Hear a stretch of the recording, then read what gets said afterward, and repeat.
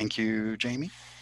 Um, as Jamie said, this is the NARDAC RDA Update Forum. Um, we are really glad to see that lots of people have registered and look forward to a Q&A session at the end. We're not going to interrupt and, and risk running out of time to answer questions in the middle, but please do use the Q&A function to send us questions as we go. Um, just to uh, let you know, our speakers are members of the RSC and of NARDAC, primarily from NARDAC. We have Thomas uh, Brenndorfer, uh, Library and Archives, uh, not uh, Public Library in, in, Guelph, Guelph Public Library, uh, who is the NARDAC representative to the RSC, RDA Steering Committee. We have Melanie Polutta, and uh, she'll be covering for Claire, Liao, Claire Liao, who couldn't join us today, um, talking about the development of uh, policy statements and external documentation at Library of Congress. We'll have Thi Bao Tran Phan speaking about uh, the work they're doing in Library and Archives Canada uh, to prepare for RDA.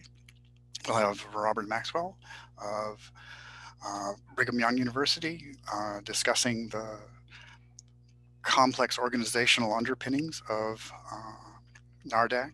and Kathy Glennan from the RDA Steering Committee will talk about plans at RSC's level. Jamie Hennelly, James Hennelly of ALA Publishing will talk about platform developments, and I will uh, bring up the end talking about some encoding questions for RDA. And so I would invite Thomas to uh, get us started. And let me give him control of the screen. I have control. Thank you, Stephen. Okay, I'll proceed. Hello, everyone. I will be talking today about recent developments from the RDA Steering Committee, and the focus will be on the new Community Resources section of the new RDA Toolkit, much more of which will become visible in the next release of the toolkit in April. That's next month. Uh, the Community Resources section of the new toolkit is currently undergoing development and fine tuning and it is the successor to the appendices in AACR2 and the original RDA toolkit. Yep. Well, to help kick things off, here's just a, a brief intro of me and, and a photograph. Uh, well, the picture is in lieu of me standing at a podium in a conference center uh, room uh, live. It is certainly the hope of NARDAC that we will return to in-person updates at ALA at some point, but likely not until 2022. So for reference, since this is about the movement of existing content and its arrangement and the structure of the new toolkit, let's, we can go all the way back and, and see how the original appendices appeared in AACR2. And here at the bottom, we can see some top level categories for, for these additional instructions covering capitalization, abbreviations, numerals, initial articles, glossaries here as well. And if we move into the original uh, RDA toolkit. Uh, we see that there, there was a similar organization to the appendices, but some topics surfaced in this list, such as titles of nobility and dates in the Christian calendar, as well as uh, record syntaxes, which in the new toolkit we would say are really part of string encoding schemes for structured descriptions.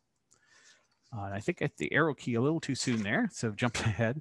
Uh, when we looked, uh, when we look under the headings in that in the original toolkit, a pattern emerges. Uh, many subtopics appear, but, but it becomes clear that these are all under the English language. And as we browse down these lists, we eventually encounter headings for other languages and scripts.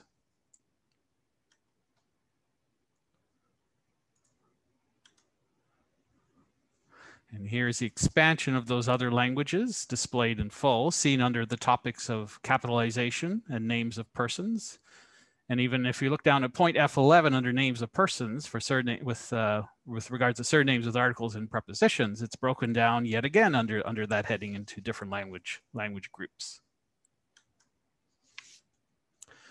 In the new RDA toolkit, the content from the appendices is it will be found under the resources tab, uh, most of it under the menu heading, Community Resources. And this screenshot reflects the planned organization for the next toolkit update. There's also a, a, set of submenus here, one for community refinements and one for community vocabularies. Now, altogether, this organization reflects a, a, key separation in the content of the toolkit. The main part of RDA is found under the guidance and entity sections and is, is covered in the element pages, as well as the associated policy statements. Community resources will reflect conventions that are specific to communities. RDA is no longer called the Anglo-American Cataloging Rules. RDA has an international focus and is designed to work in many languages.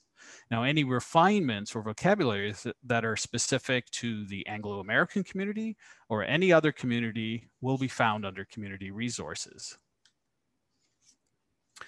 So we need to say that the community resources are a work in progress. The planned organization for the next RDA toolkit update represents the first attempt to create a structure that can support future growth. But it is expected that this section will be further modified and adapted to suit a variety of community needs. All of the current content from the appendices are in the community resources section, but ownership and management of that data needs to be sorted out, as well as the incorporation of conventions specific to other communities adopting RDA. Now, as we dive into this, into the community resources page itself, the landing page, um, we see here presented, this will be in the next uh, update to, to, the toolkit. We see here presented some of the reasons given for the separation of the community resources from the main RDA content. Um, the utility of the content is restricted by lo local bibliographic and cultural conventions. And one, one, one other thing that this means is that this content won't be subject to the translation processes that, that are applicable to the main part of RDA. Also, we have to consider the scale of the content that's found here and, and potentially some of that would overwhelm the, the main part if we were to have that in the main part of the toolkit. And uh, I'll explain that a bit when I talk about community refinements. Now, the initial content planned for this, this, this section, community refinements, are the instructions mainly for authorized access points for those special kinds of works, musical works, religious works, legal works, and official communication. Now, during the RDA beta period, this content was marked as special elements and sort of fell outside of the toolkit's main organization. Now, these instructions for authorized access points for these special kinds of works um, pr presented here will be considered as refinements. If all of those instructions were piled into that one element page for authorized access point for work, well, then you can see why that would be a scalability issue. Uh, that page would be enormous and there would still be the issue of other communities adding their uh, specialized instructions and having that overwhelm that single element page. Now, that being said, there's a lot more work that still needs to be done in, in this section under community refinements. And so in the next slides, I'll focus in on the other section, community vocabularies, and look at how that's organized and, uh, and what's coming up in the next update. So uh, in the April update, when you click on community vocabularies, we'll have this landing page. The second line points out that these are not to be maintained as part of RDA, but are, but are pertinent to different user communities. Now in practice, this will mean communities will need to consider stepping up and taking ownership over this content as well as any new content added here. The RSC has been discussing how to work this out and in particular, uh, considering the kind of assistance that, that could be provided to different communities with content applicable to them. If you look at just one heading here, let's just take a little peek at this. Uh, and the point here I just wanted to draw attention to is to, as to what we're saying here. now, the start point reflects a, a, common organizational theme for community vocabularies, and it's it's always focused around uh, how we have organized the entire toolkit, which is around recording methods. So generally, there's two contexts in which we consider these these community vocabularies. Uh, one is the context of transcription, and the other one is in the context of constructing access points and other structured descriptions. which is another way to say that. This is all about strings. It's all about character strings. Uh, if you look at this section, uh, just this top section uh, at the beginning of terms in specific language languages, we see again, and if you look at the wording, it breaks down again, um, unstructured descriptions. These are community vocabularies in, in the context of, uh, to be used in the context of transcription guidelines. But also each community may have terms conventions used in the in the context of string encoding schemes and chiefly we see this in the construction of access points. So what has become of english? Well one major thing here is now it's just one language among many and so that reflects a fundamental principle of the new toolkit that it's not centered on any one language per se um, so you'll see all the languages in this next level of organization. So this the process that went into organizing the, the former appendices involved breaking out under each language and script what topics were covered, such as capitalization and initial articles. And this is a sampling. Uh, and as you can see, not every topic was covered by every language or script with this new organization, I, uh, you, one could see that there's a benefit when we're cataloging material in a particular language, we can see all of the conventions that would apply to that language in one spot, whether it's for abbreviations, capitalization, initial articles, and so on. So if you look, if you click on terms in English, then we see further organization here. It looks a little, little new here as well. Um, and this is parallel to the toolkit's organization by RDA entity and then by element. The conventions that are applicable broadly uh, to, to many entities are under, are under the broader RDA entity heading. And here we find the community vocabulary, vocabulary for initial articles applicable to the names and titles of, of various RDA entities. Under preferred titles of work, well, what do we find here? We see the community vocabularies for collective titles in English and titles in English for the books of the Bible. And here's a screenshot. This is the familiar list for collective titles in English. I just pulled out an arbitrary example just to show how things have changed over the years. And, um, and here we see this organizational shift with um, just uh, an example here with soil names. And it was given its own heading under capitalization in, in AACR2, um, understood to be within the English language context of the appendices. In the new toolkit, um, not only is this specifically organized under the English language, it's also organized under the manifestation entity. And it also leans on the idea that of transcription from manifestation statement elements. Now, even though we don't even record these at the moment, we do take the values of these elements, these manifest, manifestation statement elements, and modify them further for our traditional elements like title proper. So this instruction is a community specific one for the normalization of transcribed data and the value of, that data can be utilized in other, other elements. We can look at another language, and again, we can see the new organization uh, slightly different. You can see there are some different elements covered uh, covered there, but the organization, the order is generally the same. RDA entity applying to all entities. Uh, the resource entities, work expression manifestation item, if applicable, the agent entities, and then place and time span entities. Initial articles for the French language for, for names and titles of RDA entities. That pops up if you, if you look at that section. So I was thinking of maybe the question, how do we use community resources today? And I thought of uh, something that comes up oh, every few years in the public library when staff ask, why is this name filed under YRS instead of SIG on the shelf? Uh, Irsigar uh, is an uh, Icelandic name. So in the past, I would um, well, originally pull up a, a, print copy of AACR2 or point to uh, the RDA toolkit and say, ah, to answer that question, we can simply point people to the reason uh, here, which is that for Icelandic names, we see, oh, the first, the first part of the first is the given name and that precedes the uh, uh, patr patronym, pat patronymic. Under, and this is under names here.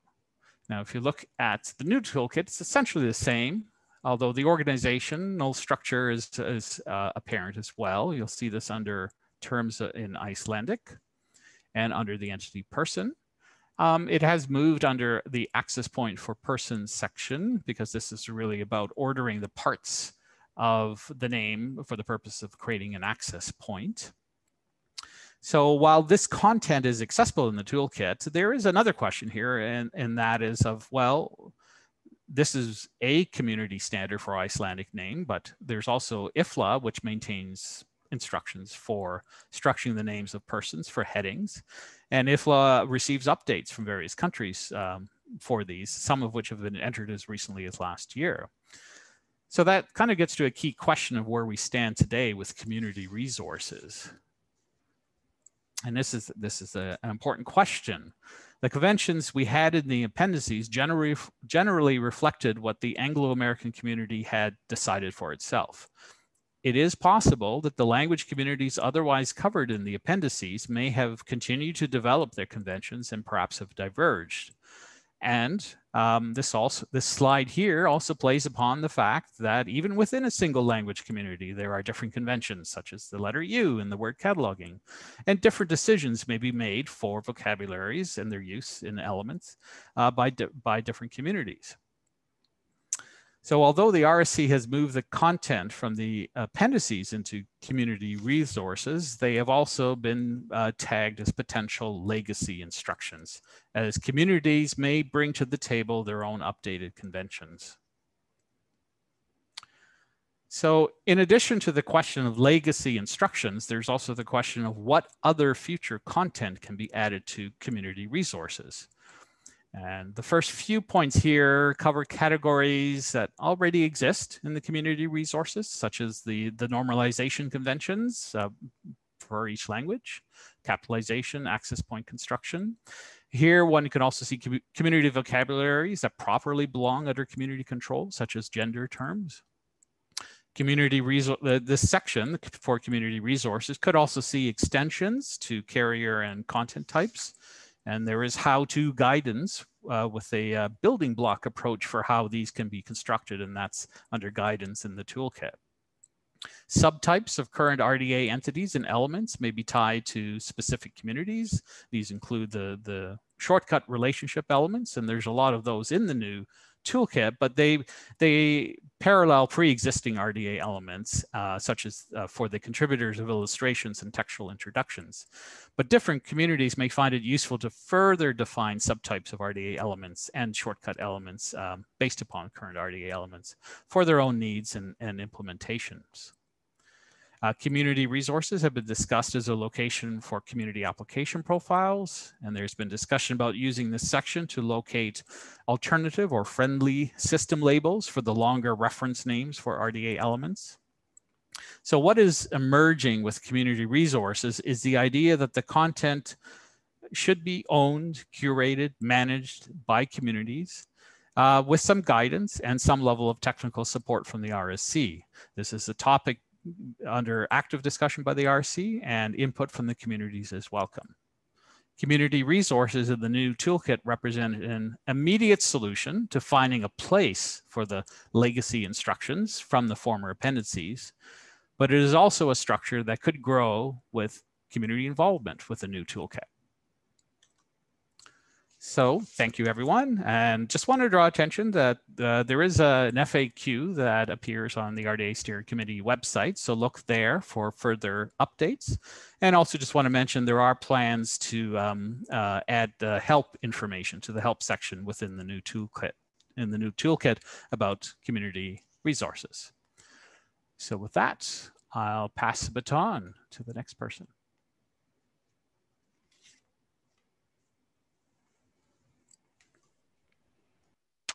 So is it mine now? I've requested. You should have control now, Melanie. Okay, I'm just trying to see if it's going to respond. Okay, okay, Whew, there it goes. okay, hello everybody. Um, my name is Melanie Polutta from the Library of Congress, and I am one of two of the Library of Congress representatives to NARDAC. I do want to mention briefly that this was supposed to originally be a co-presentation with the other LC representative to NARDAC, Clara Liao, also of the Policy Training and Cooperative Programs Division, but she unfortunately had a conflict um, in the last week. So I, some of the content in this presentation she developed, and I am just presenting it on her behalf. So what is the project? Although we continually call this the RDA policy statement project, it is actually a bit more expansive than just the policy statements because we are trying to uh, change all of our documentation uh, where necessary to work with the RDA toolkit. So we're going to start addressing some of the other pieces uh, in this presentation as we get through it. So this is the um, range of people who have been working on it and we uh, have had some change in who is involved, uh, adding one new person and losing uh, a couple, but we are still very busy and actively working on this project. Now, one of the biggest and the most important things about this project for us has been we have truly lived and died by the power of the spreadsheet. Uh, we are currently just finishing up with our third really large working spreadsheet and about to start on our fourth iteration, which got so large that we decided to split it into three smaller ones. Um, in those three working spreadsheets, the first one was where we analyzed the original existing uh, policy statements for the, from the original RDA toolkit. Uh, the second one was where we then incorporated those in with the writing of many new spreadsheet, uh, new new policy statements, excuse me, uh, so that they are in harmony with the official um, RDA. And and the process, we have written over 9,000 new ones. Now, one of the things I do want to point out, though, in looking at that number, is because of how the RDA text has changed, what used to be an, an original RDA, an instruction that said do it this way, the new RDA says this is your option of how to do it. And so we have had to write a lot of new policy statements in order just to achieve the same status quo of cataloging. So even though the number is really large, um, it's not really that much new information. We're still trying to achieve the same cataloging impact status quo. The second part of all of this work, of course, is then taking all of those policy statements that we have written out in those spreadsheets and putting them into the DITA. This example here shows you how that little ID that's highlighted at the um, in the link that's in the RDA toolkit, that then matches up to the link inside the hidden files that you rarely ever see. And you can see here, this policy statement right here, that's matched up to this right this code right here, which is uh, one of the reusable text things that we are trying to use in the DITA so that we are truly maximizing its capabilities. You can also see the green matches up to the green, the yellow matches up to the yellow.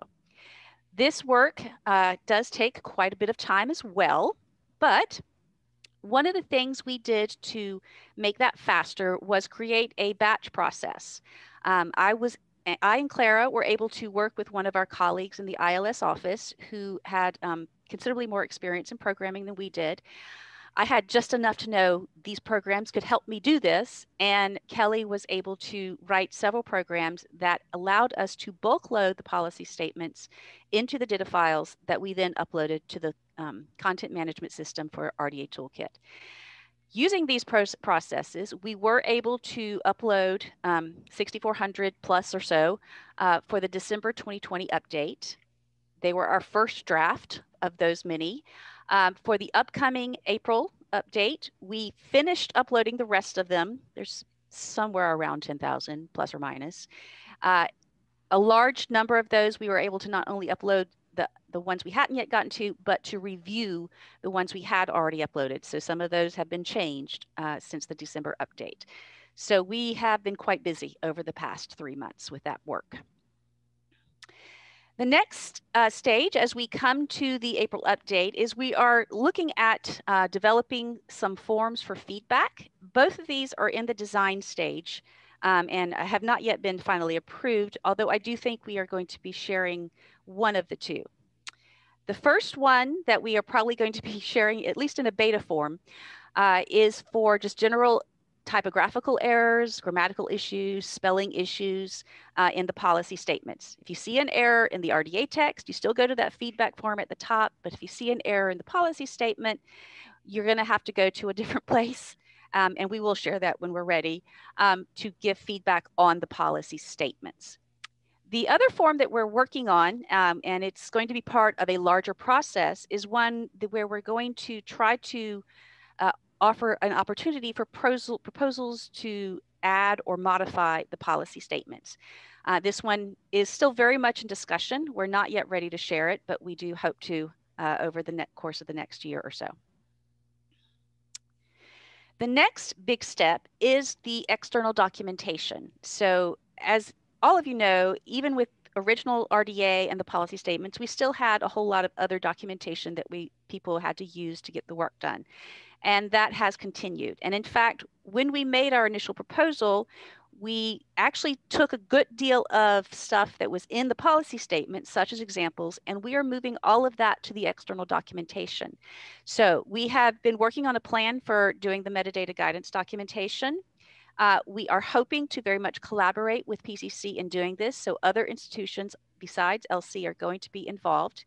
And we're planning to start that work um, in early May and hope to finish it by later this year. It's going to be a lengthy process and something of a challenge.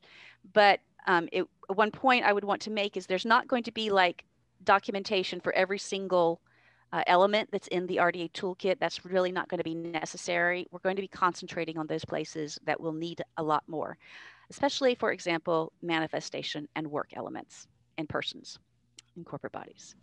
So now that we actually do have policy statements in the toolkit, uh, and you'll be able to see pretty much all of them next month with the next update, I wanted to go over some of the editorial decisions that uh, we are we have made as we've written these policy statements and how we've put them into the um, toolkit, but also some of the uh, other helpful things for you to know. One point I want do want to make is that if you want to set up a, a profile, um, set it up in the toolkit so that you automatically have the policy statements displaying in the right way rail without any extra steps, you need to set up a profile and then set up a default view. This RDA Toolkit YouTube channel that Tom has already mentioned has some training related to this, and I would strongly urge you to go check it out and get this set up so that they are in the um, set up so that it, automatically displays those policy statements that you always want to see. Now, excuse me, the next thing I want to say is how are you going to see them?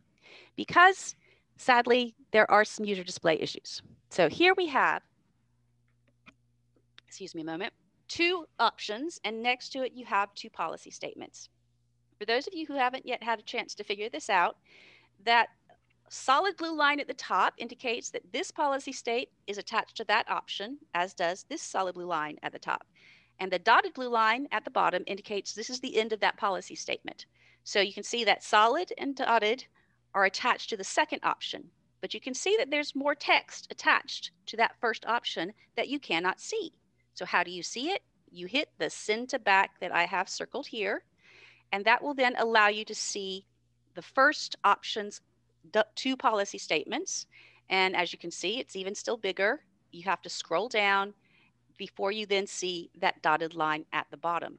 This is one of the things you need to be aware of that you are not always going to see them uninterruptedly. You sometimes have to use that display uh, send to back option. Connected with that sometimes you're still going to end up with some really long ones and it's going to be hard to see even with the send to back option working. So one of the things you can do is click on the LC hyphen PCC that's at the top of every policy statement. And if you get click on that, you're going to go to what's called a mirror page for the policy statements. And that's where you will see all of the policy statements for that element uninterrupted. Now, then of course you're left with, wait, I don't see the option that I'm replying to? Well, actually you can. so then you go to that little icon that's next to the word option. You click on that and you'll see the option next to it. And that is what the these policy statements are related to. Now, obviously this is not perfect and you then lose context. So this is not a, perfect display issue. Um, and it is one we're very aware of, but we do not yet have a solution and we will be working on that. The next thing is, let me talk about some of the other editorial decisions that we have been uh, addressing. One, we'll be talking about what does the reality of an integrating resource mean? Two, the order of information in which we are presenting the policy statements and the facts that we are trying to provide links. So first off, you see here that you have two separate options, but only one of them has a policy statement. Now, why is that? Well, that's because when this was published in December 2020, the second option was new. We had not yet seen it. We had not yet written a policy statement for it. Therefore, we could not publish one for it. This is just the reality of the fact that the RDA toolkit is an integrating resource and the content is always going to be changing at least a little bit.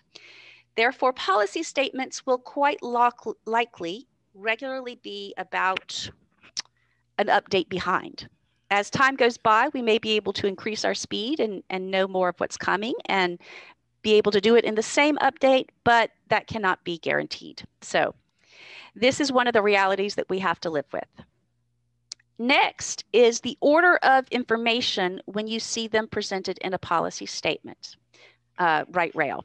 So whenever we have um, policy statements attached to one location, if we have multiple ones, we're going to consistently try to present them in this order, which is, is it a core statement? That is always going to be first. After that, you will then get practice statements. In this case, you are going to, this is related to the title proper at the pre-recording level, which is where you're usually going to see core statements. And then you have a more general practice statement about the title proper that belongs to the entire element. Sometimes the core statement will be more specific. It may be LC core, it may be PCC core, it may be core related to a specific format and that will but that will always come first before any other general practice decisions. Second, sometimes LC and PCC have different practices at the same level. When that happens, well, they're just going to be in alphabetical order because while we discussed the different ways we might put them, we decided that's just too complex. Let's stick with simplicity. Alphabetical it is. So anytime you have differing practices, LC and then PCC, because that's the simplest way to do it. Beyond that, we then have the general practice followed by a more specific practice. Sometimes there will be different practices. Sometimes it applies to a specific format. Sometimes it applies to a specific type of resource. In those cases, we'll have a general practice first, followed by a more specific practice. In this one, you can see that it's limited to works with individual titles that are part of a common title and therefore it is a more specific practice. Next is the fact that we are trying to provide links within the policy statements as much as possible. So in this example, which is uh, for the element publication statement, we are actually in the policy statement itself giving links to more information where it is necessary. This will also be in many other policy statements. We're trying to link directly to the RDA element that's relevant, the option that's uh, relevant, or another policy statement on some occasions. However, I should note uh, that sometimes the links aren't there yet. In this case, we have a policy statement that already says, see the metadata guidance documents for more information. Eventually, that will be a live link, but at this point, it is not because we haven't yet written said documentation and we can't link to it because it doesn't exist yet, but it is to coming. And finally, we do have uh, some places where you're going to see just the word link. Uh, this was is a display issue that we at first didn't realize that it was going to happen. and so it took me a while to figure out the solution. But we do know what's going on with it. It has strictly to do with the data markup. The link is active and should work to, to, take you to the place. You just don't yet see the display of what that place is. And we do hope to um, clean this up for the next update in July.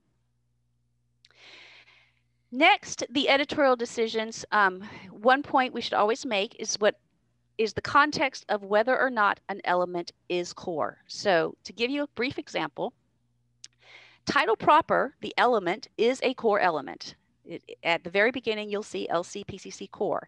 But within that, you have a bunch of different options. And then, so you always have to ev evaluate the option based on, okay, what's the condition I have to consider? Then I look at the option and then I look at the policy statement. Knowing if I it is core, I have to provide it. If it meets this condition, then yes, I do apply it. But there are many other elements that are not core. Well, once again, I still have to consider the condition in order to apply the option, but though it says apply the option here, that doesn't automatically mean you must do this. Because first, you as the cataloger decide, am I going to provide data production in the first place? If I do decide, yes, I am, then this tells me how I'm going to do it. You're going to follow this option. But if I've decided I'm not going to be providing data production at all, then the fact that the policy statement says apply the option is irrelevant. So always remember the context of core for the element itself. Uh, it's core, like I said, always generally, well, let me rephrase that, almost always appears at the level of pre-recording. There are a couple of options that are stated as core, but they are very much the exception. Okay. Uh, the final editorial decisions that I wanted to review is the overall structure we have for writing the policy statements that we are trying to very much set up a if this then that structure for writing the policy statements and avoiding lists whenever possible so for first example, we have here the fact that we have four these types of resources, and we list them out and give the, all the detail, then apply the option. So we always have a condition decision set up if there is a condition to applying it. So that is the over, overarching principle that we've tried to stick to in writing policy statements. We haven't always achieved it, but that is the one that we are trying to reach for.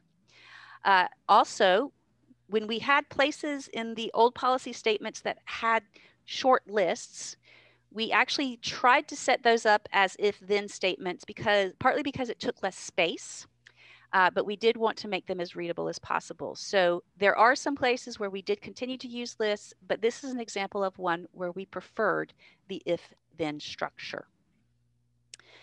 So one final editorial decision is, and there are quite a few places uh, that we put either do not record, evaluate later, or some combination of those two statements. And those are for those elements where we haven't made a decision yet. There's several new elements in this new RDA toolkit that were not in the original one, and we don't yet have policy statements because we don't yet have an established practice to how, how to do it. So we do hope to work out proposals, uh, LC and PCC together on how to incorporate those if we so choose. And at that time, new policy statements will be written. There are a bunch of other smaller, more minor policy statement um, editorial decisions that we've made, such as the fact that we are overall sticking with American spelling over British spelling, even when the, the RDA text uses the British spelling. Uh, we do accept the, the presentation of and or for the Boolean um, possibilities. We preferred the, the phrase in most cases over generally, which seemed to be popular in the old policy statements. And we did make some vocabulary decisions where we decided to stick with older, more recognizable vocabulary, regardless of how the RDA text had changed it. For example, we are continuing to use multi-part volumes or multi-part monographs to talk about multi-parts because everybody knows what those are. and so on. And we will try to have a place that explains these decisions um, eventually.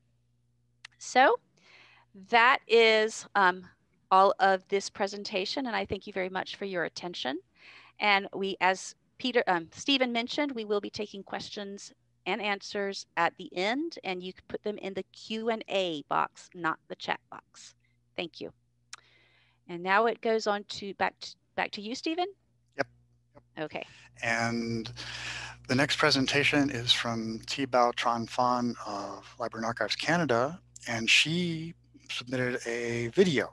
So I will move to her screen and see if we can't get this to work the way we want.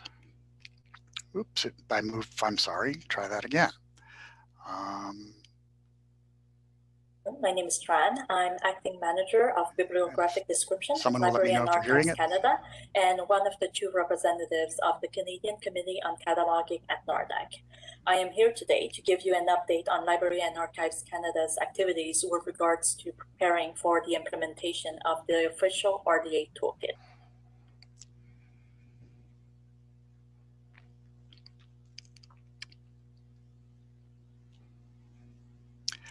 Can people hear the presentation? I'll restart it if they are. Otherwise, I'll fix the problem. Somebody unmute and speak. Yes, we can hear it. Oh, great, great. Thanks. Please note that this presentation will be in English only, but we will make uh, available the French version of the slides. Before we begin, I would like to give a little reminder of the context in which we work. Library and Archives Canada is a bilingual national institution with French and English as the official languages. As such, we create bibliographic and authority records in French or English or both, depending on the language of the publication we are describing. This means that since we changed our library system to OCLC WorldShare Management Services in 2018, we have been working in two separate files for authorities. NACO for English Language Authority Records and Canadiana for French Language Authority Records. Also, in June of last year, we launched the Francophone Name Authority Program, also known as PFAN. This means that we now share the responsibility of maintaining the Canadiana file with Bibliothèque et Archives Nationales du Québec and 15 French-speaking universities in Quebec. What this means for policy statements is that we are trying to align ourselves as much as possible to the policies already established by Library of Congress, the Program for Cooperative Cataloging, and the PFAN, all while uh, being specific to Canada and our own practices where needed. Furthermore, all policy statements must be available in both French and English and must take into account our collaboration with Bibliothèque et Archives Nationales du Québec and the cataloging environment that is OCLC WorldShare Management Services. So what have we done since the last forum in August? First, Library and Archives Canada has been focusing most of last year uh, on producing documentation for the PFAN and I'm happy to announce that we have recently made available our wiki at the URLs shown here. We have also made significant progress on the RDA elements to MARC authority mapping. The task is now about 60% completed. The mapping were last added to the RDA toolkit in November, and we expect another update to be made uh, in April.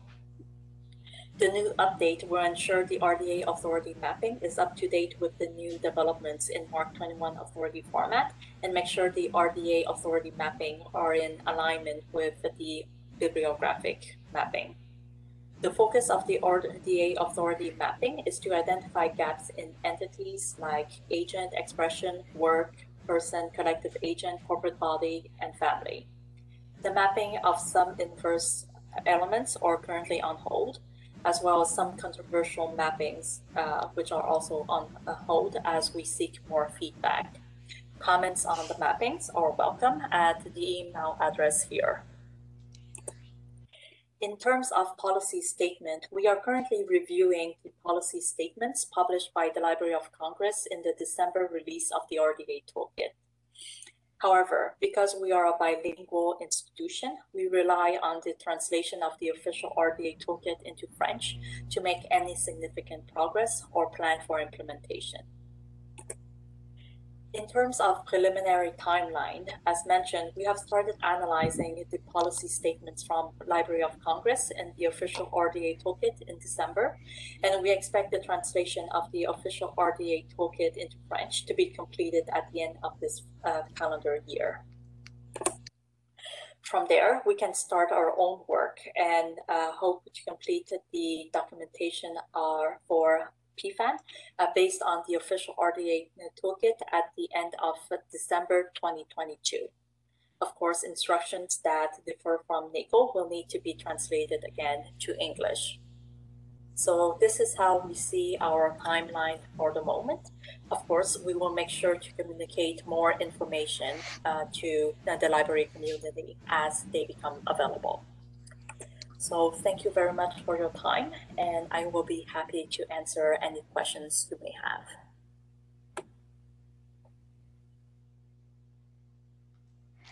My name is Tran. I'm acting manager of.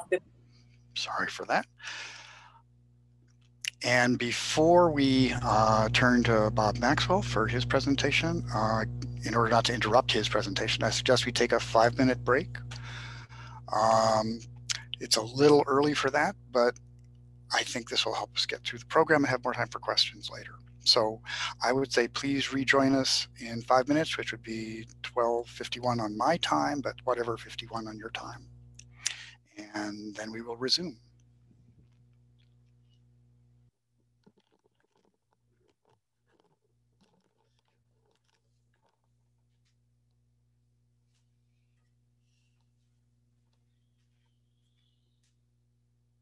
We would ask Bob Maxwell to continue.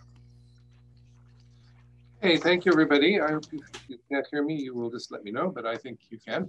Um, I'm Bob Maxwell from Brigham Young University, and I'm one of the two representatives uh, to NARDAC from the American Library Association. And I just thought when I was thinking about what to talk about here is that many people, including me, are have been confused about the organization of all this, everything behind RDA, and so I thought maybe we could do a little guide that might help us through the maze. And it is a maze. Many of us uh, say, who is in charge here anyway? And there's all these entities and acronyms that we hear about, and we'll talk about some of them today.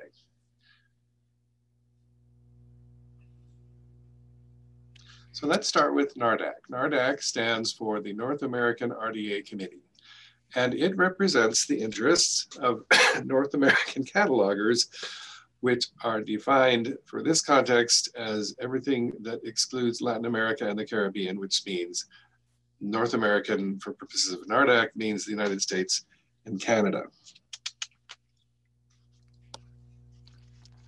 And its membership consists of two members from the American Library Association, two members from the Canadian Committee on Cataloging, two members from the Library of Congress. I'm sorry, something happened to the logo there in the on, the, on your screen.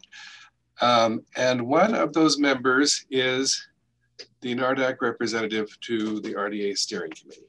So that's the basic format. The current composition is uh, the American Library Association members are uh, Stephen Hearn, chair, and me, Robert L. Maxwell. The Canadian uh, Committee on Cataloging representatives are Thomas Brenndorfer, who is also the NARDAC representative to the RDA Steering Committee, and Thi Bao Tran Phan, whom we just heard from, uh, from the Library and Archives Canada. The Library of Congress representatives are Melanie Polutta, who is also the NACO coordinator of web content. So if you have complaints about that, you can apply to her. And Clara Liao. Um, just to, okay, so.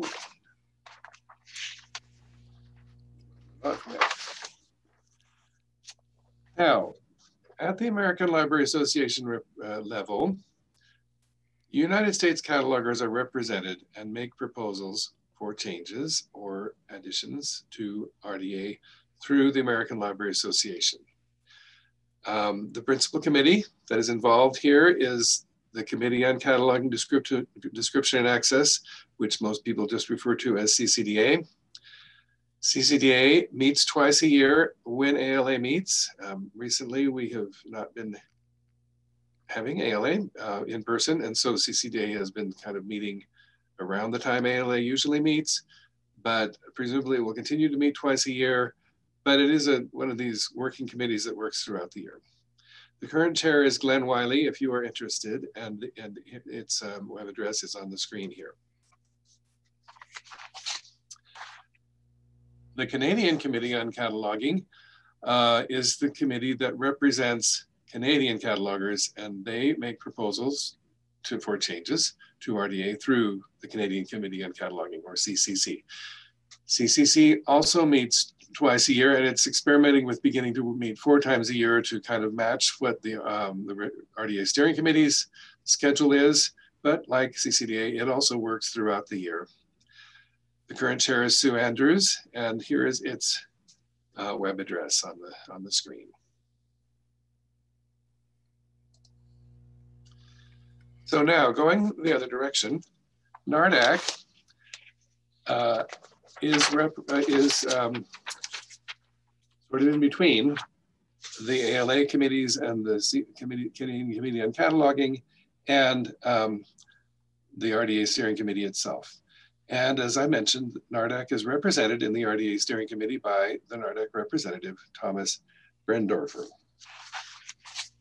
And so any, any um, um, revision proposals uh, from ALA or the Canadian Committee on Cataloging funnel up through NARDAC and then eventually get to RDA. So at the RDA level, this is its organization. It has a chair who is Kathy Glennan, and we will be hearing from her, um, I think, next. Its secretary is Linda Barnhart. There are three regional representatives, one for Europe, one for North America, and one for Oceania. There is an examples editor, Honor Moody. The technical team liaison officer is Damian Iseminger. There is a translation team liaison officer, Daniel Paradis, and a wider community engagement officer, Eva Kartus.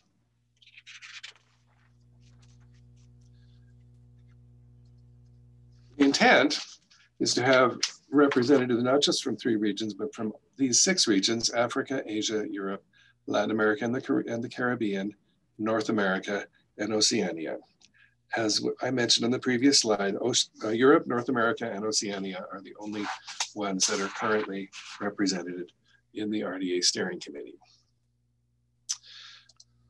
So now there's another, another committee called, or another organization group called the RDA Board. So speaking of who's in charge here, what, what do they have to do with this? Um, well, the RDA board has charge of certain aspects of RDA. Um, some of you who have been around for a while might recognize the name of its predecessor, the Committee on Principals, the Committee of Principals. Um, the RDA Steering Committee reports to the RDA board. So I suppose you could say that the board is ultimately in charge. As of February 21st, uh, so this is who's in the on the board. Um, ALA is one of the uh, copyright holders and they have a representative, but as of February 21st of this year, that is, uh, slot is not filled.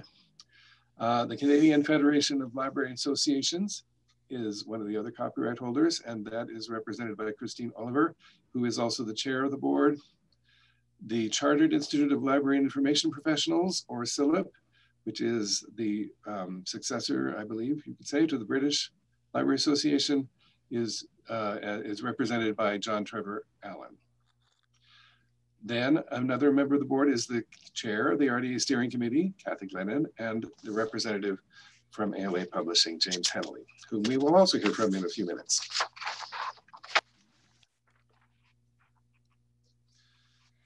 There are also uh, six national institution representatives on the board um, from Africa, Asia, Europe, Latin America and the America and the Caribbean, North America, and Oceania.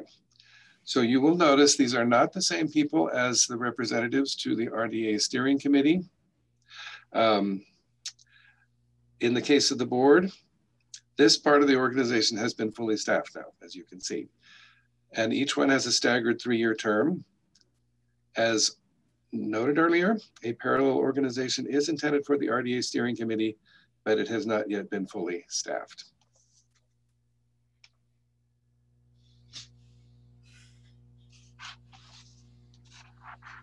So what are the functions of these two groups? Um, the board and the copyright holders together um, set the strategic direction for RDA. So they are the ones who approve major undertakings like the 3R project, which we recently concluded. The RDA Steering Committee is responsible for the development and content of the RDA standard, including all revisions, additions, and other changes to the standard itself. Okay, we're going to pause for a moment on this to contemplate this beautiful slide, which Kathy Glennan was kind enough to provide and prepare for this presentation. Uh, this is an up-to-date diagram. You can see it's as of March 24th of the relationships between all of these bodies. And it has its debut today. And so we can all applaud Kathy here on her, in her next presentation, which will be up next. You will notice that NARDAC is in the, the dark blue rectangle near the bottom of the center. Kathy did not include the bodies funneling into our NARDAC or EURIG or ORDAC, which stand for the European and Ocean, Oceanian regional bodies, but you can imagine them as part of the dark blue rectangles. That would be for NARDAC, LC, ALA, and CCC.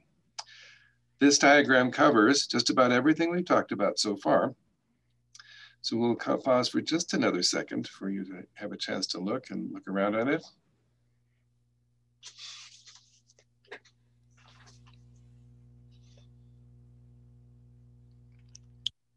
This looks a little bit like some of those diagrams of the semantic web I saw way at the beginning of my career.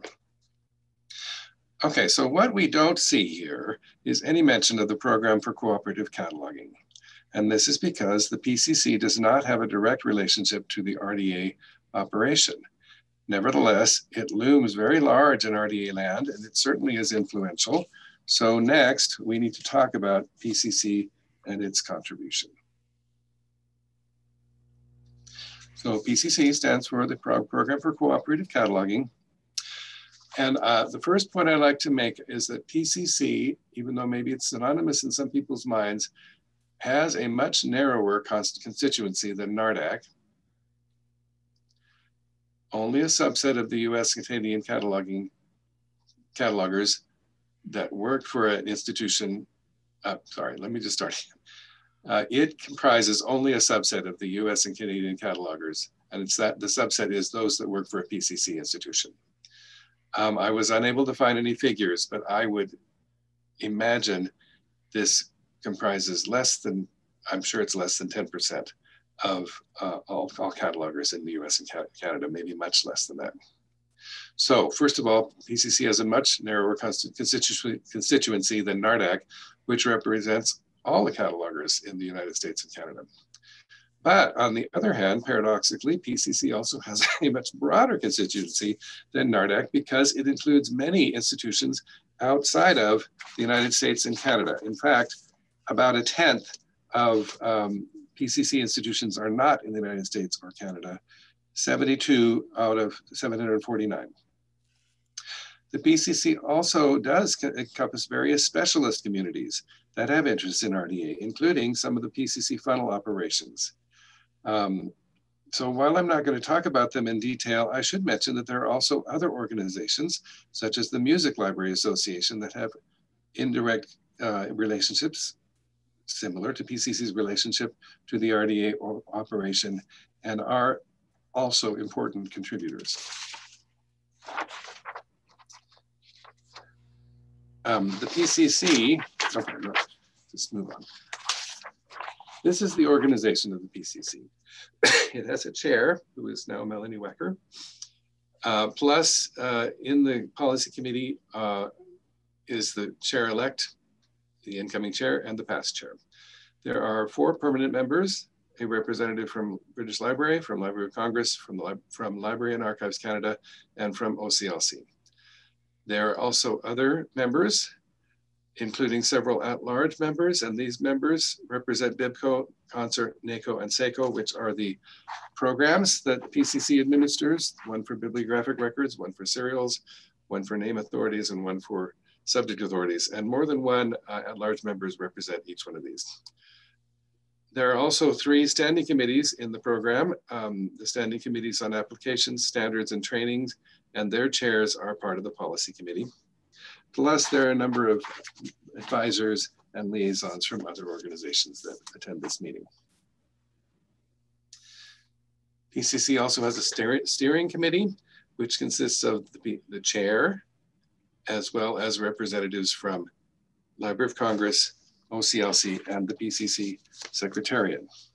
So the Library of Congress is, does serve as, as the, or at least staffs completely, the Secretariat for the Program for Cooperative Cataloging, and its responsibilities um, include facilitating the operations of the Policy Committee, the Steering Committee, and BIBCO, CONSER, NACO, and SACO. So um, all of us in PCC are quite grateful to the, to the Library of Congress for uh, giving um, many of their positions over almost some, some of them almost entirely to the operation of PCC. And that's what's called the Secretariat.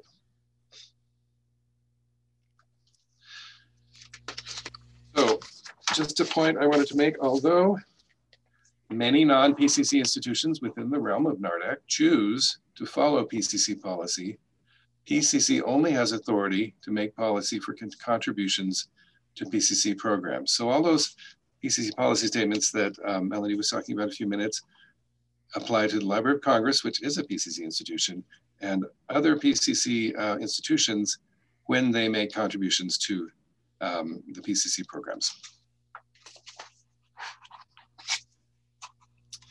So what is the difference between NARDAC and PCC or their, or, or their roles?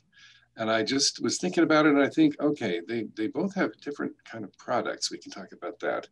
Um, the product of NARDAC in concert with the RDA steering committee is a set of guidelines and instructions for metadata creation, which we call resource description and access. So that's the product of, of NARDAC. The product of PCC, on the other hand, is metadata. Um, PCC was set up to help facilitate, to facilitate the creation of metadata. It also creates some metadata standards, such as some vocabularies, workflows, and best practices outside of RDA, but its chief product, in my opinion, is metadata.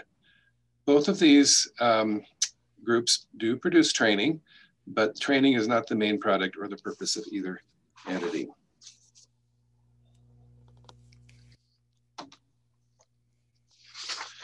Now, PCC doesn't have a direct relationship to NARDAC for this is evidenced by the fact that there is no PCC representative to NARDAC.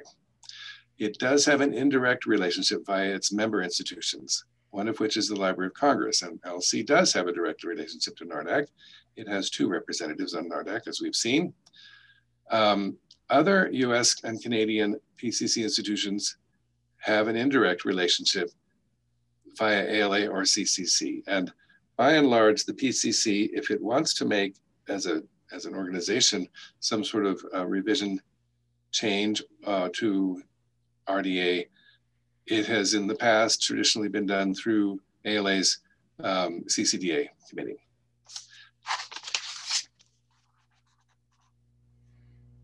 So while uh, PCC doesn't have a direct relationship to NARDAC. It's an extremely influential organization, and its activities and policies regarding RDA are very important.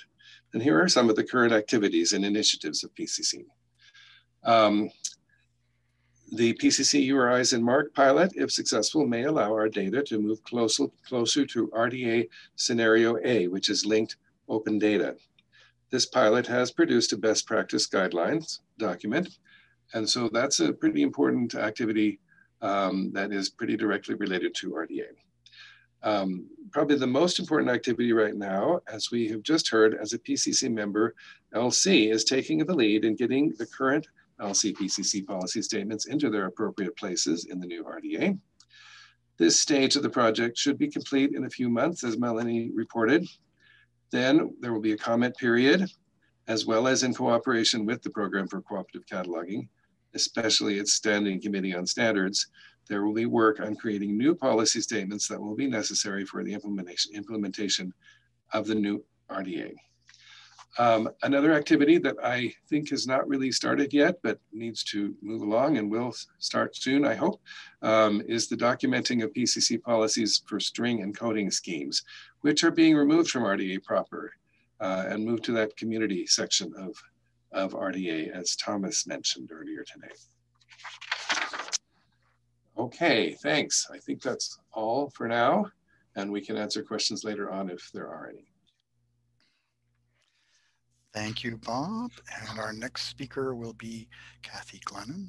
Oh, twice there. You should be in control, Kathy. Great, thank you.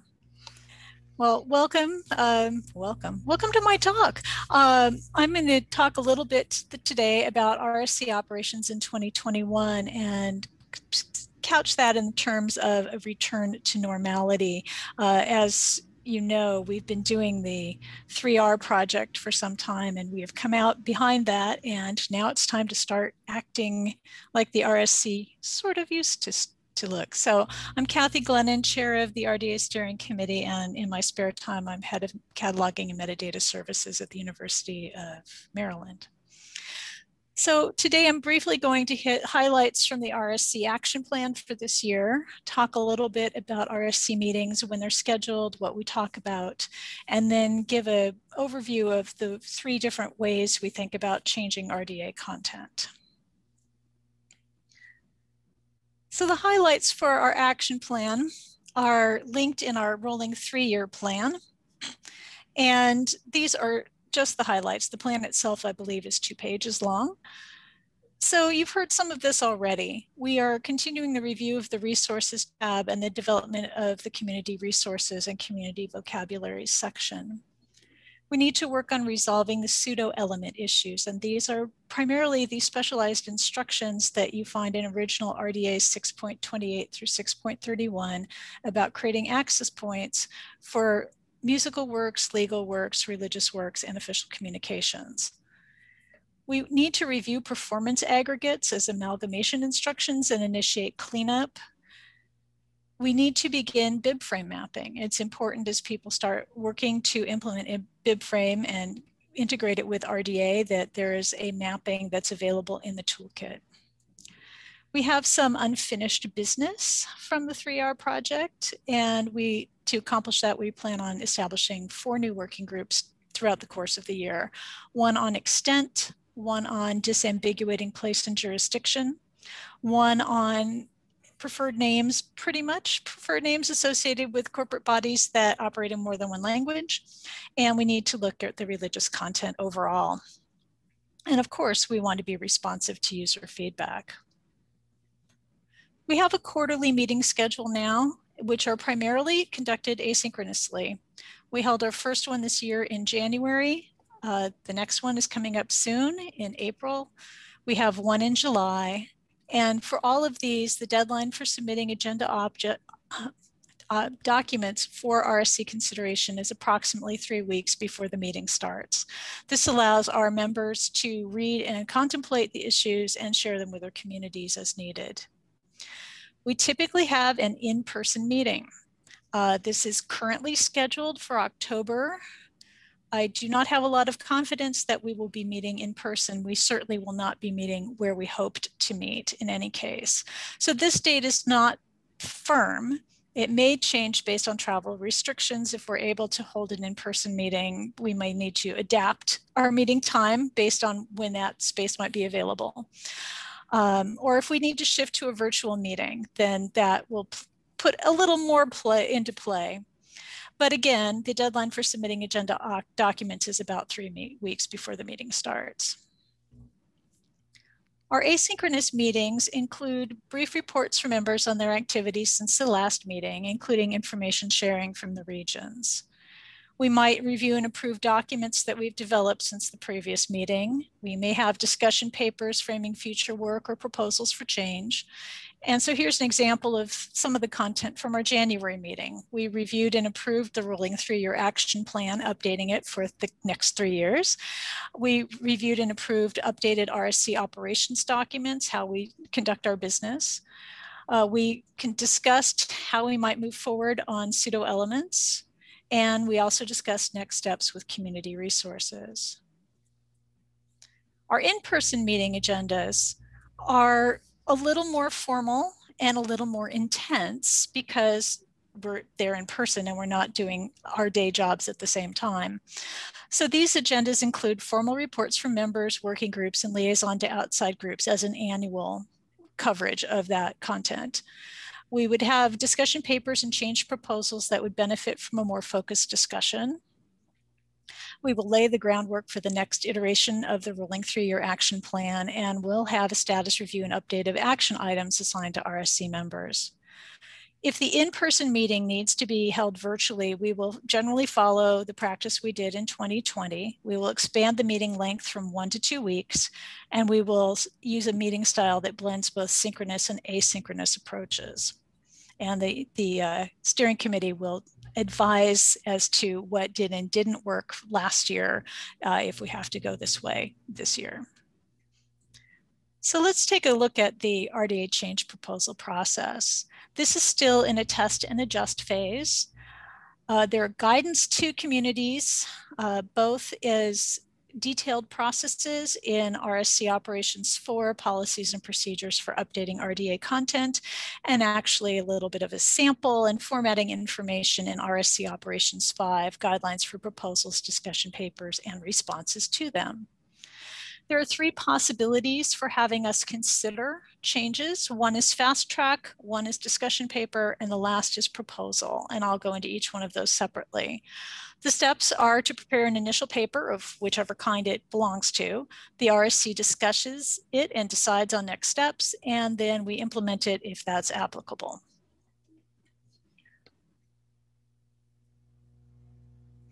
So fast track proposals are suggestions for improving consistency in wording, additions to vocabularies, and other changes without wider impact. These must be capable of inclusion in RDA without negative impact on our users, and it must be technically compatible with RDA. And the tech, RSC's technical working group is more than happy to tell us if that is or is not the case. These may be submitted anytime to the RSC chair and RSC secretary, and they originate with RSC members via working groups, regionals, region recommendations, such as something coming from NARDAC, personal observations, or whatever else. Uh, they can originate with users primarily via the submit feedback link in the toolkit. If we notice something, then one RSC member might take that up and turn it into a fast track. Normally, the fast tracks will be discussed in the order received. Right now, we are operating under a short decision-making time frame of two weeks with one week for discussion and one week for voting. We are also currently only considering one or one grouping of these at a time. These are not publicly posted on the RSC website. There are no formal responses required. The decisions are made by the RSC voting members.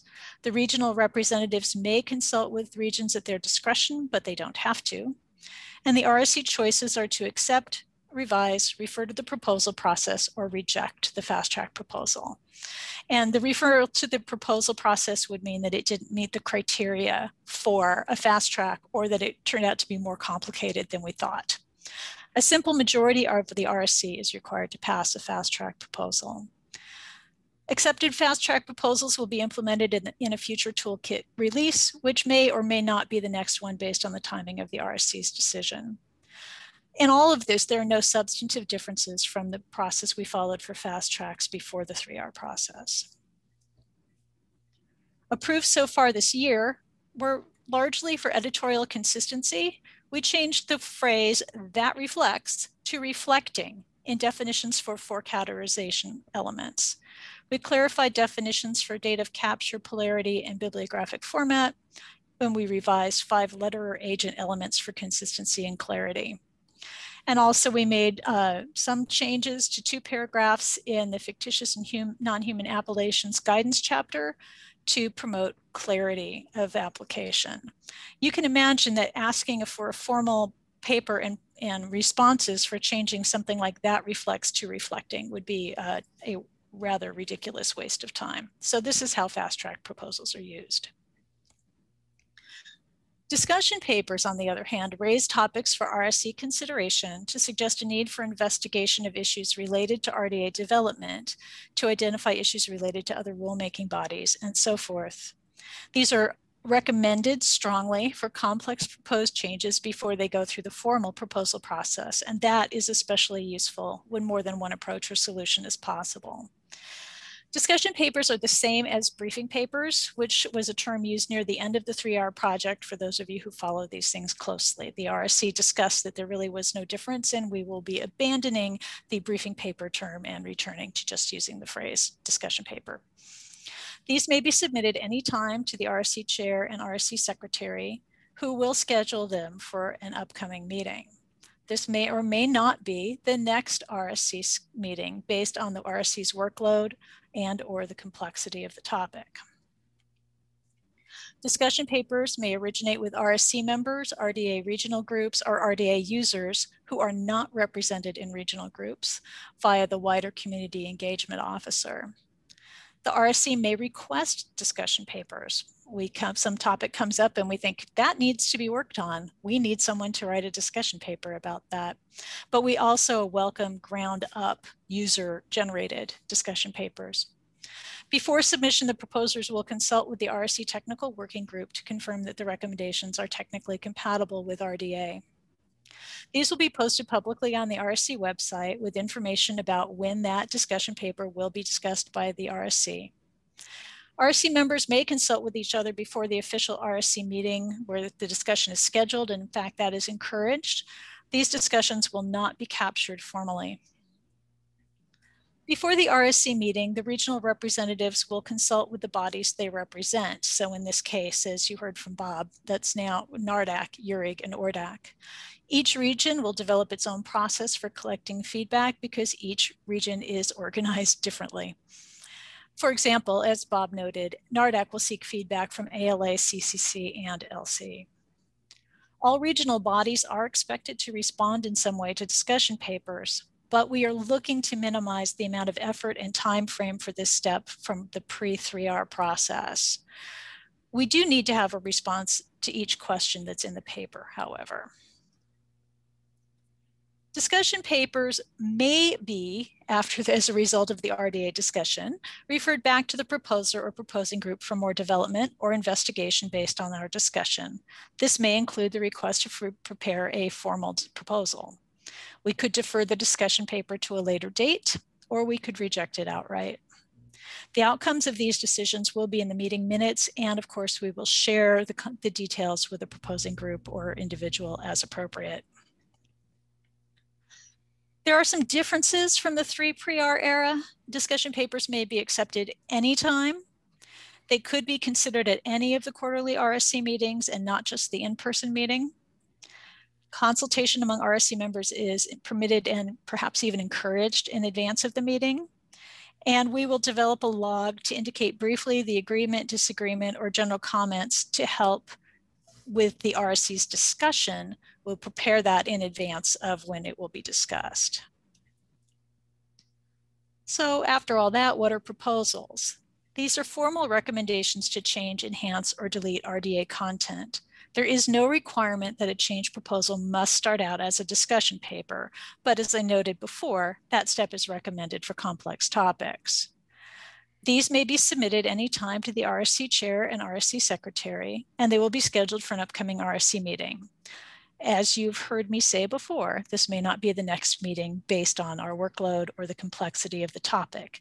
In fact, much of what I have to say about proposals you will have heard before, and so I won't belabor the points. They originate with the same groups as the discussion papers. And as with discussion papers, the RSC may request them And of course, they need to be RDA compatible and the technical working group stands ready to ensure that. They will be posted publicly on the RSC website with information about when they will be discussed. And again, RSC members are encouraged to consult with each other before the meeting, but that will not be part of any kind of official discussion and capture. Before the RSC meeting, regional representatives consult with the bodies they represent. And as with discussion papers, each region will do its own thing as makes sense to them.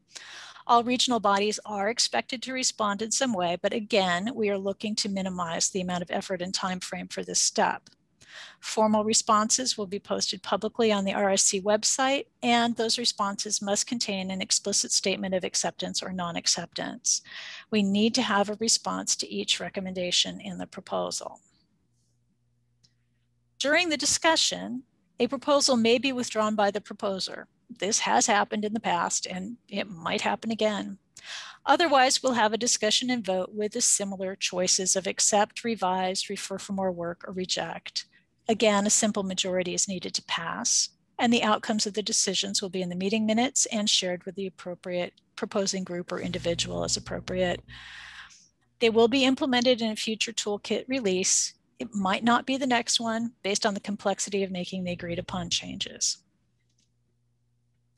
Changes from the 3R procedures are similar to that with discussion papers. These can be accepted anytime. They could be considered at any of the quarterly RSC meetings and not just the in-person meeting. Again, consultation among members is permitted. We will develop a log and make that public so that we can be prepared for our, to focus our discussion when we actually discuss proposals. And we are looking to minimize efforts from the regional representatives. We no longer want a formal response that effectively simply says, we agree uh, that that happened in the past. And if that's all it is, we need to just put that in the, the log table and that should suffice for that communication. In the works, uh, we have more fast track proposals. They're coming at a steady pace. We have some formal proposals likely to show up perhaps by July. NARDAC's curator agent proposal, which was much more complicated than any of us hoped, uh, is currently undergoing review by the RSC Technical Working Group before the RSC will consider it. And this may be on the July agenda. There's also, uh, asked if we could rename an element, and we decided that was a little bit beyond a fast track. And so if they want to pursue that, renaming an element would also be a formal proposal. If you want more information about anything I talked about, uh, the action plan is on the RSC website. The RSC meeting calendar is on the RSC website. Our agendas the, at least the public portions of them are available on the RSC website and the operations documents I mentioned before. These are two of the six operation documents that we have. And if you have questions that I don't get to today, please email me at rscchair at rdatoolkit.org. I will answer your questions if they go to my University of Maryland address, but it's a little easier for me to keep things separate. Uh, so if you can manage that, I'd appreciate it. So thank you. Thank you, Kathy. And next will be James Hennelly. And oh, click that one more time. You got it, James. But we're not hearing Okay, thank you. I just uh, had to unmute myself. Uh, hi, everyone. I'll just reintroduce myself again real quick. I'm James Hennelly. I'm uh, director of RDA Toolkit, and I'm just going to give you a quick update on what we're doing with the toolkit. Um, hopefully, most of you are aware that the 3R project has completed. It was shifted to the official um, official status, the new toolkit on December 15th. Uh, the project did achieve its uh, significant goals of uh, introducing a responsive design, uh, one that includes um, access meets I shouldn't say includes meets accessibility standards, and uh, implements the LRM. We can also see that we uh, or you may may not see it. You can see it. We kind of restructured the whole uh, toolkit, both on the front end and the back end. Um, and that back end restructuring is going to be important for future development and being able to do more interesting things with the toolkit and improve um, the user experience. And we also introduced some um, integrated content. Um, that's kind of, you see that in uh, what we call the right rail display. I think Melanie showed that a couple times um, where we can put policy statements right alongside the RDA instructions they reference. Um, our next steps, um, we're going to we're going to continue with uh, work on translations. The Norwegian translation is uh, current with the uh, December release of the toolkit. The Finnish um, are making progress and will soon be there. And um, there's a lot of uncertainty about some of the other translations right now. Um, so there's a lot of work still to do in that area. Same with policy statements. You got a good uh, update on LC policy statements. Already today, uh, BL, British Library is working on their policy statements and they'll continue to add, be added to the toolkit with each release. And um, with this next release in April, you will see uh, an initial um, sampling of, uh, of Music Library Association best practices policy statements in the toolkit. Um, we have bigger plans for future development um, going down the road. Probably you won't see much in the um, this calendar year of 2021, but down the road we hope to add a visual browser that we've talked about in the past and um, a mapping tool, a tool that basically makes a little more uh, a full-fledged tool that um, gives us a lot more um, flexibility in how we display, say, a mapping between RDA and MARC or RDA and BibFrame. Um, and that might be the higher priority right now over a visual browser. Um, I think I missed one here. I just want to talk real quick about our um, release dates. Oh, I have that on the other. Okay oh, sorry, I don't even know my own slides. Um, orientation efforts. So we are continuing with the RDA Lab series, which is led by uh, Kate James, um, who's um, been working on a, um, her series is basically is an opportunity to kind of get some uh, practical experience working with the um, some of the new concepts and practices uh, in RDA that are related to the LRM and other things. Uh, we'll continue to do some toolkit demos. We have a YouTube channel that if you haven't subscribed to that yet, I suggest you do. It has helpful videos of um, how to do things on the toolkit, plus um, some videos of presentations that we think are uh, really strong and helpful. We have a few print products out right now. We have the RDA glossary. Uh, we also have Introducing RDA, a guide to basics after 3R. That's by Chris Oliver it's um, a short, it's uh, kind of a follow up on her uh, original introduction to RDA. And I think it's a really useful book for just kind of getting a handle on the significant changes of um, that were brought about by 3R and how to move forward um, from there, how to kind of address those changes and, and make some um, um and get ready to adopt to these changes in the toolkit. Um, also, uh, the RDA workbook will be coming out um, soon, actually. This is a, a, workbook by Kate James based on the RDA lab series, and it really kind of collects together some um, cataloging um, problems, if you will, or exercises that will help you adapt to um, the changes in RDA and um, we're going to get to work. I talked to Thomas today, uh, Thomas Brenndorfer, who talked earlier. Uh, he and I had a brief discussion. We're going to meet next week and talk about how we can get an update to RDA Essentials going. Um, and then, of course, some uh, I think Kathy mentioned the submit feedback button on the toolkit. Use that if you're having any problems or concerns about how the new toolkit works. Um, that's really kind of a place to submit ideas for making the toolkit better. or if you think there's an error in it, reporting that. If you're having problems logging in, don't use the submit feedback button. If you're having access issues, please contact me directly if you're having access issues so we can resolve them right away. Uh, the RDAL discussion list has moved to ALA Connect. Um, this is going to give us a lot more reliable service and exchange of um, thoughts and ideas on the list. Um, it does require that you join ALA Connect. So you have to kind of take this initial step of going to ALA Connect, joining it. It doesn't make you an A, you don't have to be an ALA member. You don't have to, uh, you're not going to get bombarded with emails from ALA about, uh, you know, that are unrelated to RDA or anything like that. And you can set it up so you just interact with the list through email and nothing else, nothing more than that. You don't, so after that initial login with ALA Connect, and once you join, you should be all set to go. Um, so our release schedule for the next year. So next week we do have a new release coming out. Um, it will contain um, updates to policy statements, um, both LC, British Library, and MLA, as I stated, some updates to the translations, and um, it will include that move of the pseudo elements that uh, Kathy discussed to the uh, community resources area. And we'll have further development of that community resources area. Uh, the next uh, release after that is scheduled for July 27th.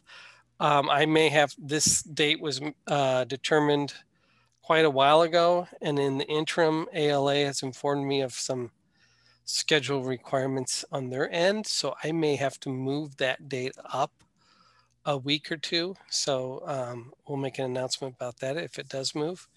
And then a third release on October 5th. Um, and then there's just a brief update on how we've uh, responded to the COVID issue. We've extended, we did a period of extended free trials and extended grace periods for um, paying the bills because we were all kind of adjusting to a new normal that we hope isn't normal forever. And um, we are currently offering a lot of uh, discounted pricing options for new or um, subscribers who have lapsed but would like to return to the toolkit. So you can contact um, contact uh, me and my team uh, if you're interested in any of that. Um, so yeah, that's kind of it. I tried to kind of go fast because I know this has been a long webinar. Um, if you're having any issues uh, with the toolkit, uh, getting access, RDA toolkit at ala.org is the way to reach us. Um, and if you have any questions about subscriptions and pricing, you could use that same address, RDA toolkit at ala.org. And of course, I'm always happy to hear from people directly. Uh, my email address is right there, jhennelly at ala.org. So um, I will end there and pass it on to Stephen. Thank you, James. And my concluding remarks are going to be looking at the relationship between RDA and encoding formats. Um, this is becoming a, a, point of a lot of discussion as we see the, the emergence of BibFrame as a, uh, an important format and Sinopia as a BibFrame based, uh, but also more flexible uh, data encoding system for cataloging and the continued use of MARC.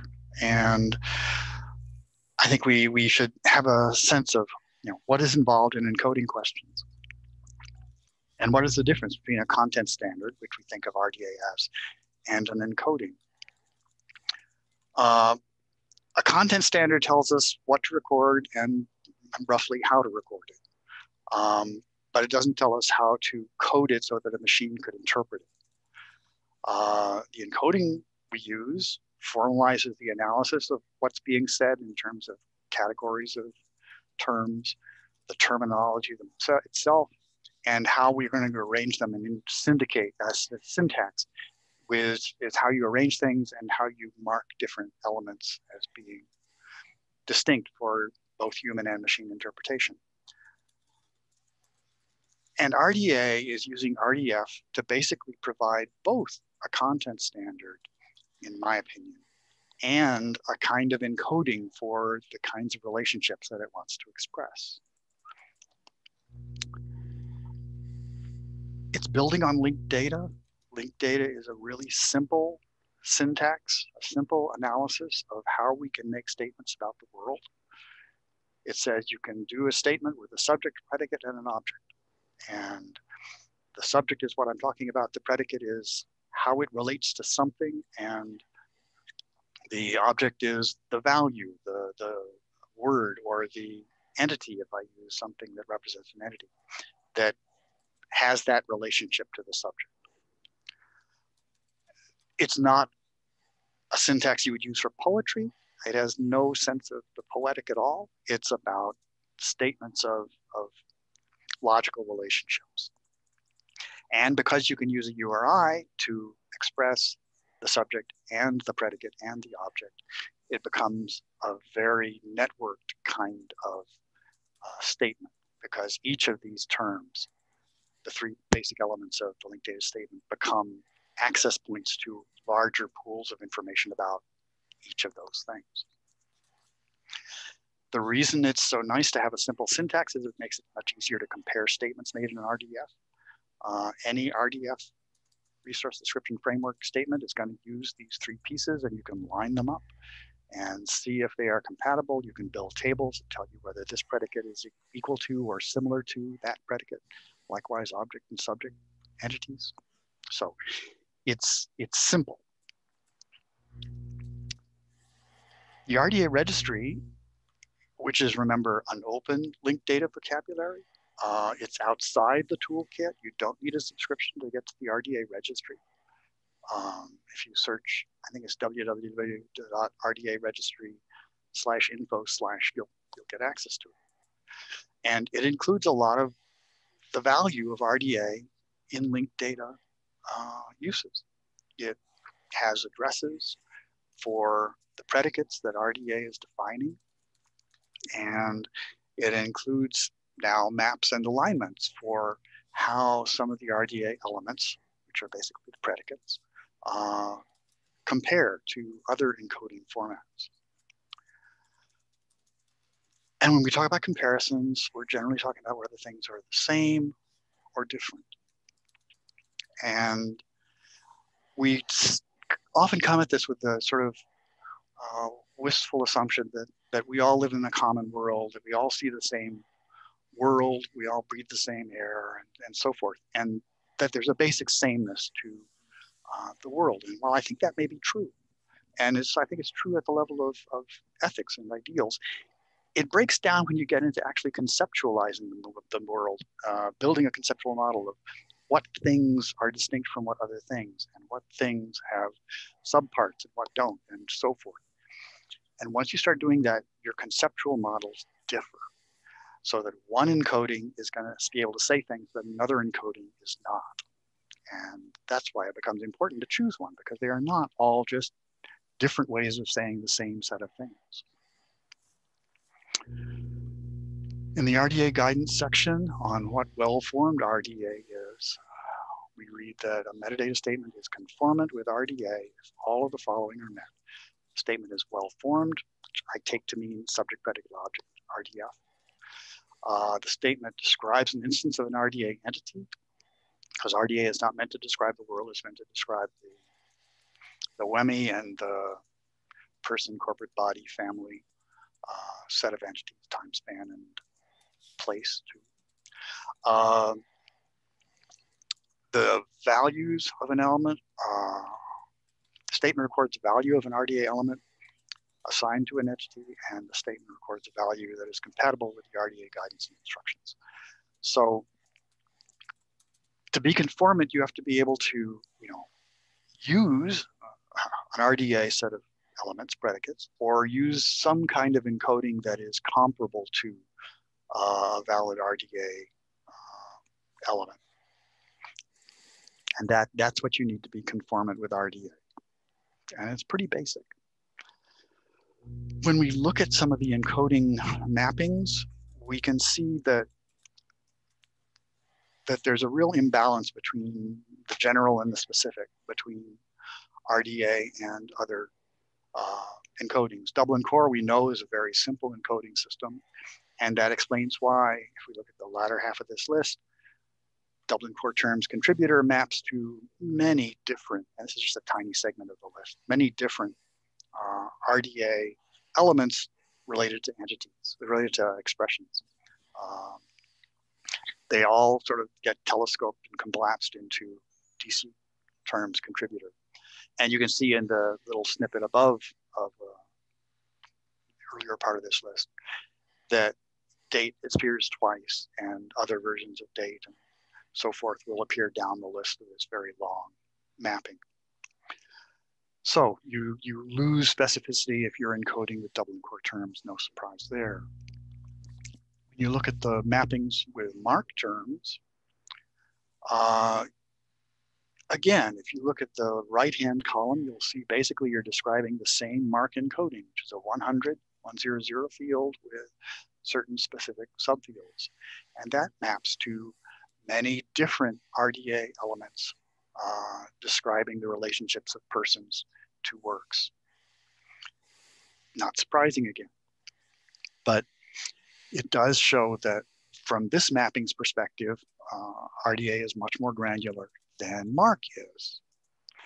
There's also a mapping and an alignment with the MARC relators, which takes the MARC relators as as what? As another way of expressing an, a relationship, uh, which they are. RDA relators have, have uh, URI equivalents, and you could put them into uh, a linked data statement to express a relationship between uh, a work and a person.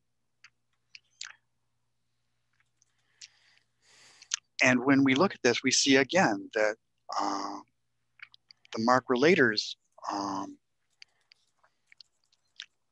have a narrower value than the RDA. And this time it's sort of reversed, but oops, go back to that. Um, but it's reversed because the RDA includes specifics about whether uh, something is, uh, well, the, oh, the, I'm sorry, let me back up. In the left-hand column, what we see are values from, that is, uh, labels from the unconstrained RDA elements. So the unconstrained RDA elements do not specify whether something is a person or a body or uh, or a family. It's just saying the relationship. So you can have has author uh, mapped to lots of different um, terms because you're and you're also not specifying um. What, what I want to say is the MARC relators uh, correspond in by themselves better to the unconstrained elements in RDA than they would to the constrained elements. But if you synthesize both the MARC relators and the MARC tagging as uh, ways of encoding the relationship between a work and an entity, then you could build a mapping which would be more precise, more specific, and more comparable between the two. So for instance, if you say 700 indicator one, now I've said I'm talking about a person, I'm talking about a, actually more than that, I said a person with a surname first. And I include the subfield for AUT, which is the later code saying, this is the name of the, uh, this is the relationship the person has that's very close to the RDA uh, element, constrained element as author person. It includes all those specifics as part of the relationship. So it seems like, you know, if the MARC data is including something that could be turned into a relator, uh, it's more compatible and more easily converted to something like the constrained RDA elements. And the MARC encoding expresses constraints similar to RDA when you see all of this as part of what would be preferred MARC encoding. Um, and if we were to choose uh, an encoding, you know, that was less specific in terms of the way the predicates set up about specifying entity types, we would have less conformance with RDA. And this leaves me with the question I continue to ponder uh, in relation to RDA, which is why doesn't RDA declare entity types, entity classes in its description of an entity? If you describe a work, at no point with an RDA element do you say this is a work. It is a work. That's that's sort of basic RDF is to say this is a axe and assign it to a class of some kind. But there's no RDA element to do that. And people have pointed out to me, well, of course, you can always do that with RDF. RDF schema includes that possibility. It could be added. But why isn't it there? Why isn't it just there? And so that's that's the strange thing that I've been pondering. And I think we use the predicates to declare the entity type, just like we saw with, a moment ago with uh, the RDA element. It's specific to persons. The RDA, the MARC coding is specific to persons or corporate body or whatever. Why would we do it that way? Well, one thing it does is it puts so much into the predicate that you can use the predicate alone for deciding how you're going to map certain index values. You know from the predicate that the term is going to be a personal name and it can go into an index that's, that's suited for personal names in terms of normalization routines and so forth.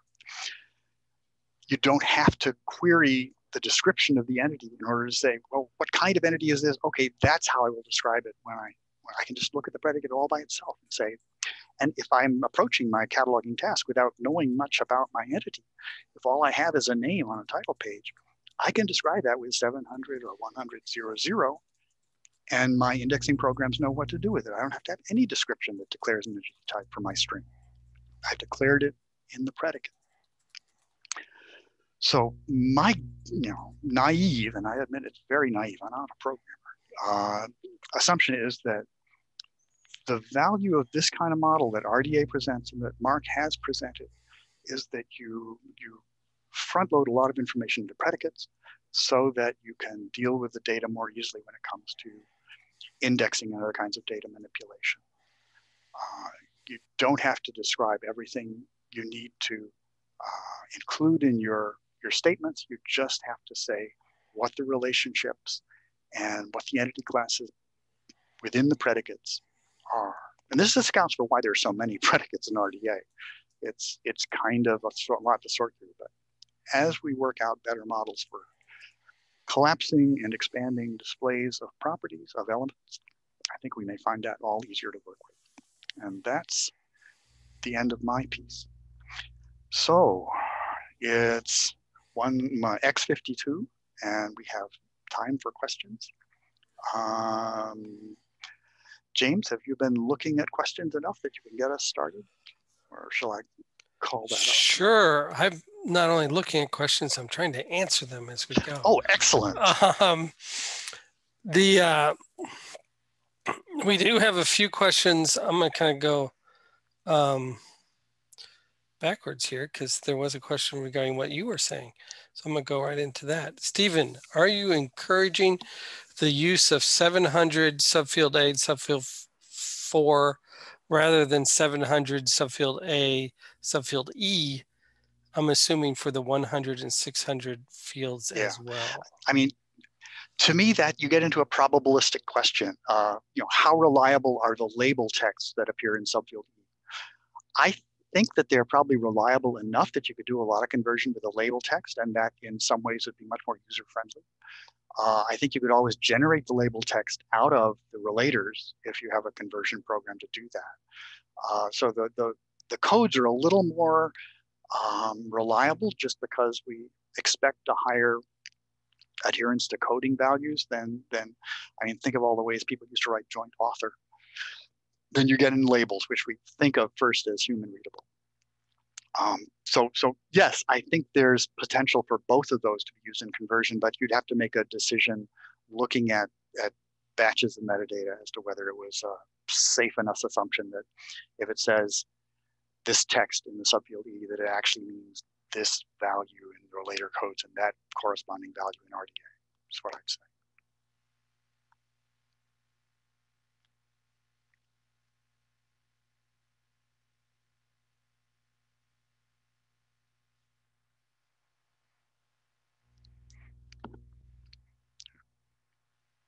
Hello?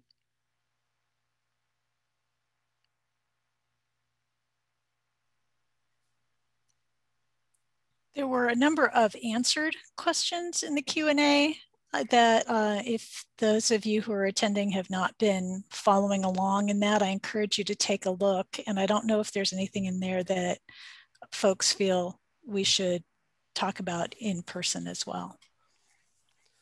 Um, sorry, I lost my navigation panel there for a second. I couldn't unmute myself. Um, I just wanted to address, there were a couple questions about um, future courses and trainings. And um, I wanted to let people know that um, I will address uh, the idea of uh, like a, a, clean walkthrough of a book workflow on the new toolkit with the e-learning solutions group. Um, I think it's important to know that in this new toolkit, you know, a lot of people have commented on the enormous number of options and that's related to, you know, this is an international standard that's meant to support a lot of different practices. So it's very important um, in this new toolkit that um, trainings are based on um, the RDA instructions in coordination with an application profile or a set of policy statements and guidance from um, leading institutions like the LCPCC, et cetera. And when they begin to kind of put down these kind of set of choices, it will become much easier for groups like ALA and other training organizations to offer trainings that are simple workflows um, through the RDA toolkit. It will also be easier for us on the, uh, as the toolkit developers to um, do filtered um, views of the toolkit content that can follow those um, directions from those organizations. So that's going to be um, a big part of kind of doing that real uh, kind of basic type of training that some people are talking about.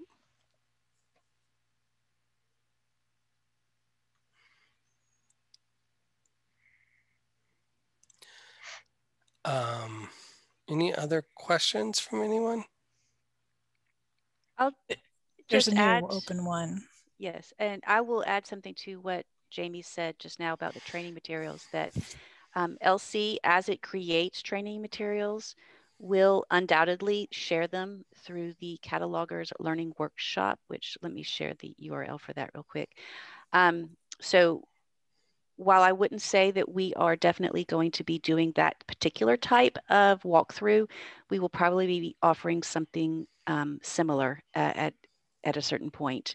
We just haven't gotten to the point where we're developing training materials yet. Um, okay, there's a new question from Lloyd. Uh, it's directed at Melanie, but I might be able to better answer this, Melanie. Um, may unused options, uh, could they be displayed grayed out or in strikeout text or something.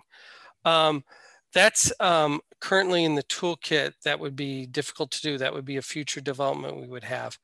But what we've kind of foreseen for that is if we do have a, a, a kind of application profile from say LC, we can begin to filter out um, the material that's not necessary for their recommended workflow. So you, in a sense, you could you could not see it. Then you could just get a display of the instructions that were the uh, that only stated the actions um, that you're supposed to take. Um, that's a little further down the road, though. For right now, it's not mm -hmm. um, it's not something that's going to happen the next year or two. To be frank, okay. Yes. Um, Liliana Sarah asked, but the four subfield is for the IRI and not for the human interface. The same field for the machine and human readable. To me, the the four is for the MARC relator or an IRI. You, would want to have your data in the right encoding for whatever process you're trying to run.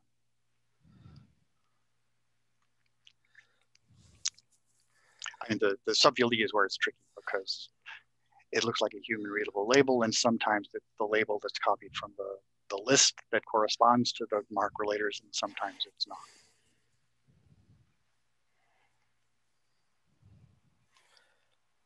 Okay. John uh, Myers responded to Lloyd's earlier question about display of options, and he's right in his comment about how they were displayed in the old toolkit, and that's still kind of the same case right now. Mm-hmm. Correct. And Patricia asks, using the same subfield for two things is asking for problems regarding subfield four. Okay. And I would say, yeah, I mean, you could put subfield four in twice if they said the same thing, I would imagine. Uh, But the, then you get into the question of, you know, if it's for human reading, it looks cluttered. I think one thing we haven't really achieved yet with linked data is properly blending the human readable with the machine readable. And a lot of machine readable content should be hidden or hidden by Mhm. label text. And then it would actually look much friendlier to us than it does now. Very true.